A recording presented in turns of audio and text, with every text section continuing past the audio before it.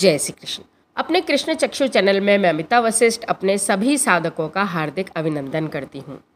आपने भगवान विष्णु, माता लक्ष्मी और भी बहुत से देवी देवताओं के चरण चिन्हों को अवश्य देखा होगा। और यदि ध्यान से देखा हो तो उनमें विभिन्न प्रकार के चिन्ह जैसे ध्वजा, पद्म, चक्र, अक्षय धन रेखा इत्यादि होते हैं। हमारे पैरों में भी व्यक्ति के गुण तथा भाग्य के अनुसार रेखाएँ तथा विभिन्न प्रकार के चिन्ह होते हैं जो हमारे भविष्य का निर्धारण करते हैं। तो आइए, आज हम भी हमारे पैरों की रेखाओं के बारे में जानते हैं और अपने भविष्य की पड़ताल करने की कोशिश करते हैं। जानने से पहले, यदि आपने अभी तक कृष्ण चक्षु चैनल को सब्सक्राइब नहीं किया है तो प्लीज़ चैनल को सब्सक्राइब करें। और यदि आपके पैरों में भी ऐसी कोई रेखा या चिन्ह नज़र आए तो कमेंट में जय श्री कृष्ण ज़रूर लिखें। तो सबसे पहले बात करते हैं पैरों की बनावट के विषय में। शुभ पैरों की बनावट सुंदर, सभी अंगुलियाँ क्रम से हल्की छोटी, गुलाबी रंग की होती हैं। पैरों का तला थोड़ा गद्देदार होना चाहिए। पैर को गीला करके ज़मीन पर रखने पर बनावट कुछ इस प्रकार की हो, अर्थात पूरा पैर ज़मीन को न छुए। अंगुलियाँ व अंगूठा भी थोड़े से उठे हुए रहें। यदि आप एक स्त्री हैं तो पैर के ऊपरी हिस्से पर हल्के भूरे रोम हों। यदि आप एक पुरुष हैं तो गहरे, भूरे, काले और थोड़े बड़े, लेकिन कम घने रोम शुभ माने जाते हैं। पैरों के नाखून नीचे की ओर झुके हुए न होकर सीधे अथवा थोड़े उठे हुए हों तो यह शुभ लक्षण माने जाते हैं।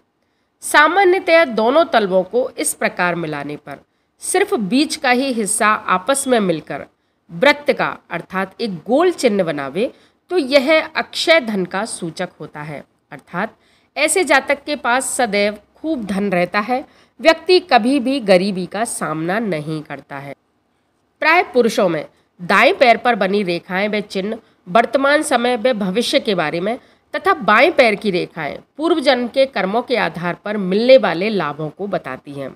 वहीं यही रेखाएँ स्त्री के पैरों में बाईं ओर वर्तमान व भविष्य को तथा दाएँ पैर की रेखाएँ पति की ओर से मिलने वाले लाभ को दिखाती हैं। अगर किसी व्यक्ति के दोनों पैरों में एक समान दिखने वाली रेखाएँ हों तो ऐसा जातक अत्यंत बुद्धिमानी से सफल तथा समृद्ध जीवन जीता है। पैरों की रेखाएँ जितनी गहरी, लंबी, स्पष्ट होती हैं, व्यक्ति के राजयोग की संभावना उतनी ही प्रबल हो जाती है। अब पैरों के शुभ लक्षणों की बात करते हैं। तो पहला जो शुभ लक्षण आता है, वह है पद्म रेखा का लक्षण। हाथ में धन रेखा होती है उसी प्रकार पैरों में पद्म रेखा होती है। यह रेखा एड़ी के निचले भाग से प्रारंभ होकर अंगूठे तक जाते हुए पैर को दो हिस्सों में बांट देती है। जिस भी जातक के पैरों में यह निशान देखने को मिलता है, यह रेखा होती है, ऐसा जातक देश विदेश में प्रसिद्ध होता है और राजा के समान ऐश्वर्यपूर्ण जीवन जीता है। दूसरा शुभ चिन्ह त्रिशूल का होता है। जैसा कि हथेली में भी त्रिशूल के निशान को बहुत शुभ माना गया है कई जातकों के पैरों में त्रिशूल का निशान देखने को मिलता है, जो हाथ के निशान से अधिक सौभाग्यशाली माना जाता है। तो पैरों के बीचों बीच से एक रेखा निकले तथा आगे जाकर अंगूठे, मध्यमा, अनामिका अथवा कनिष्ठिका के नीचे त्रिशूल जैसा बना ले। इनमें आप पाँचों उंगलियों के नीचे, अर्थात अंगूठे के सहित चारों उंगलियों के नीचे भी यदि त्रिशूल जैसा बना लेती है तो ऐसा जातक बहुत अधिक धार्मिक विविध विषयों का ज्ञाता, बड़ा योगी अथवा सन्यासी होता है। ये जातक खूब धनवान होते हैं, लेकिन फिर भी संसार में इनका मोह कम ही देखा जाता है। यह त्रिशूल इनको इस प्रकार से और अधिक विशेष बना देता है। तीसरा चिन्ह है चक्र का निशान।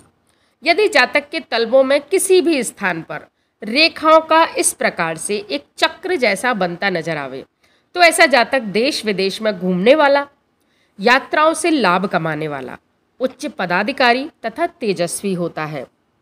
ऐसे जातकों की आँखों में अलग ही चमक तथा चेहरे पर तेज दिखाई देता है। ऐसे जातक बहुत अधिक ऊर्जावान तथा साहसी देखे जाते हैं। पांचवा और अत्यंत शुभ चिन्ह है कि कई बार रेखाएँ मिलकर जातक के तलवों में एक चिन्ह बनाती हैं, जिसे स्वस्तिक का चिन्ह कहते हैं। स्वस्तिक जैसा कि हमने देखा है, हर त्यौहार पर, हर किसी विशेष समय पर स्वस्तिक के चिन्ह को अत्यधिक महत्वपूर्ण माना जाता है। उसी प्रकार का लाभ यह चिन्ह पैरों में देता है। यदि यह चिन्ह किसी जातक के पैरों में स्पष्ट और निर्दोष बना हुआ देखा जाए तो ऐसा जातक देवीय गुणों से संपन्न होता है। जीवन में अनेकों ऐसे कार्य जातक के द्वारा किए जाते हैं, जो जातक की मृत्यु के पश्चात भी लोगों द्वारा याद किए जाते हैं। ऐसे जातक स्वस्तिक वाले पैर को आगे बढ़ाकर किसी भी कार्य को करना आरंभ करते हैं तो वह कार्य अवश्य ही सफल होता है, चाहे वह कार्य स्वयं का हो अथवा किसी दूसरे का कार्य हो।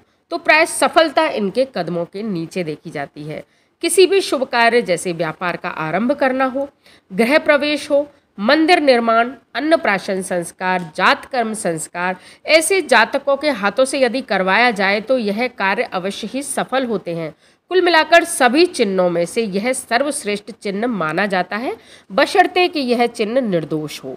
अगली रेखा, जिसे गज रेखा के नाम से जाना जाता है, इस रेखा की पहचान यह होती है कि यह हाथी की सूढ़ के समान एक रेखा दिखाई देती है, जो कि एडी की ओर इस प्रकार मुड़ती है कि हाथी की सूढ़ के समान यह नज़र आती है। यह रेखा जातकों को वाहनों के माध्यम से, अर्थात जो वाहन होते हैं अथवा सवारी जिसे हम कह सकते हैं, उसका शौक भी देती है तथा उनके माध्यम से मिलने वाले लाभों को भी दिखाती है। ऐसा जातक यदि पशुओं का व्यापार, वाहनों का व्यापार करे या पशुओं के लिए कोई चैरिटेबल ट्रस्ट बनाए तो दिन दूनी रात चौगनी तरक्की करता है। ऐसे जातकों को वाहनों का शौक तो होता ही है। साथ ही ऐसे जातक के पास अलग अलग प्रकार की गाड़ियाँ गाड़ियों का शौक या गाड़ियों के व्यापार जैसा कार्य ऐसे जातक यदि करें तो उनको अवश्य ही देश विदेश में सफलता प्राप्त होती है। तो इस प्रकार ये कुछ चिन्ह व रेखाएँ हैं जो कि सामुद्रिक शास्त्र में बताई गई हैं। यदि आपके पैरों में भी ऐसी रेखाएँ या चिन्ह नज़र आती हैं तो आप बधाई के पात्र हैं। कृष्ण चक्षु चैनल आपको आपके उत्तम भविष्य के लिए शुभकामनाएँ देता है। यदि वीडियो पसंद आए तो लाइक कीजिए, अपने दोस्तों के साथ शेयर कीजिए सब्सक्राइब ज़रूर कीजिए। और पसंद आए तो कमेंट में जय श्री कृष्ण लिखिए, पसंद ना आए तो मुझे क्षमा कीजिए। धन्यवाद, जय श्री